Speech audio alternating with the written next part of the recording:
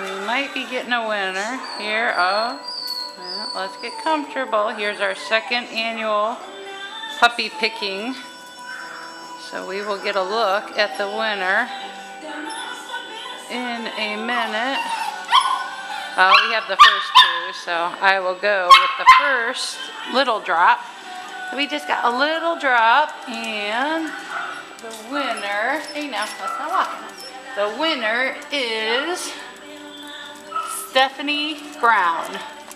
So there's a little poop that was on it. Now you've walked it off, but that is our winner for this week, Stephanie Brown.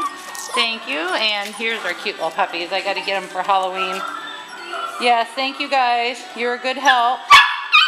The pumpkin and the black cat, so